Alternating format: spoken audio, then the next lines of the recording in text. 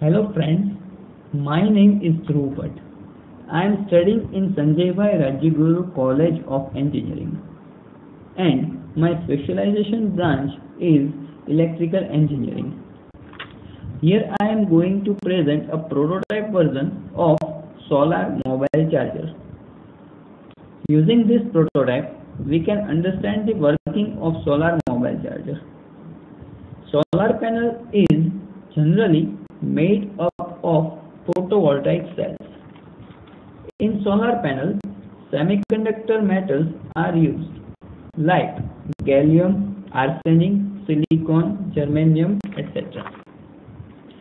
Crystalline silicon molecule consists four solar cells and has an aluminum frame and glass on the front. A solar cell is an electrical device that converts the energy of light directly into the electricity by photovoltaic effect.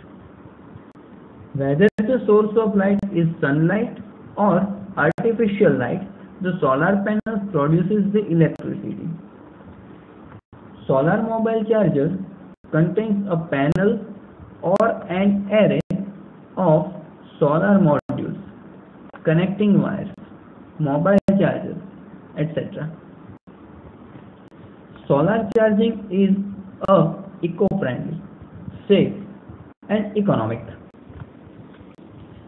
It is light in weight, it has long life and has a high efficiency. Using this, anywhere you can charge your mobile. These are the some best advantages of this product.